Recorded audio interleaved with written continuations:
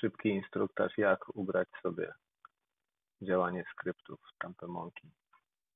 Po instalacji Tampermonkey włączamy go sobie tutaj po prawej stronie, przypinając zapaskiem adresu standardowo. Ta jedynka oznacza, że Tampermonkey akurat znalazł mój skrypt i jest on włączony na tej stronie.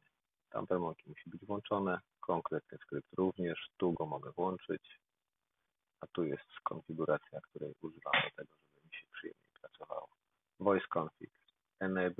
wiadomo, włącza, wyłącza dźwięk, trzy języki i poziom głośności. Zapisuję bądź wykorzystuję ustawienia domyślne.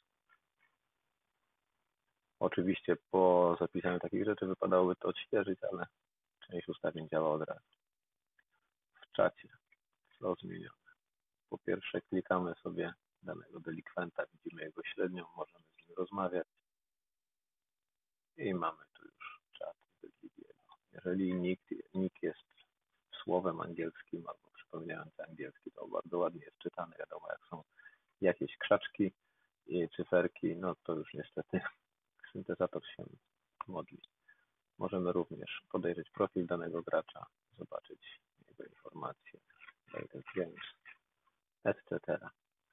Oczywiście zamykam.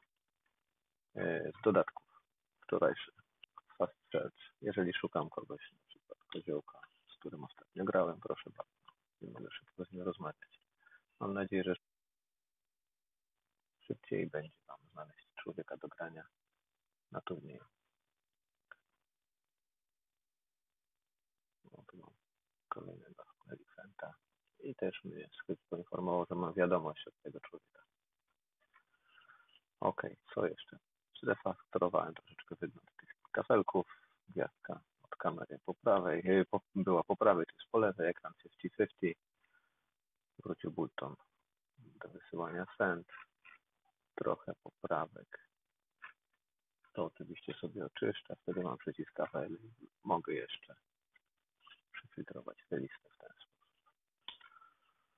Jeżeli chcę na przykład widzieć swoich znajomych, a mam ich na friends liście oddzielonych przecinkami, a mam ich trochę, jest duża szansa, że przeglądając listę, to znajdę te osoby.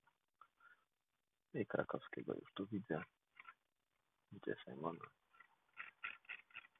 W ten sposób mogę zbudować sobie trzy listy. Friends Blacklist Personal, czyli jakichś takich high-endówek. Nie wiem, jak wolicie. Miłego używania.